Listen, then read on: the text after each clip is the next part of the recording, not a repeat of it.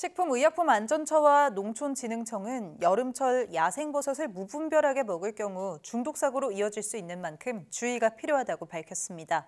식약처에 따르면 국내 자생버섯 2천여 종 가운데 먹을 수 있는 것은 일부에 불과하며 대다수는 식용이 불분명하거나 독이 있습니다. 또 여름철에는 우산 광대버섯, 혹갈대기 버섯 등 독버섯이 많이 자라날 뿐 아니라 식용버섯과 비슷한 모습으로 동시에 자라는 경우도 많아 구별하기 어렵습니다. 특히 식약처는 색이 화려하지 않고 원색인 것은 먹을 수 있는 버섯이라거나 세로로 찢어지는 버섯은 먹을 수 있다. 은수저를 변색시키지 않으면 먹을 수 있다 등의 민간 속설은 근거가 없으므로 믿어서는 안 된다고 경고했습니다.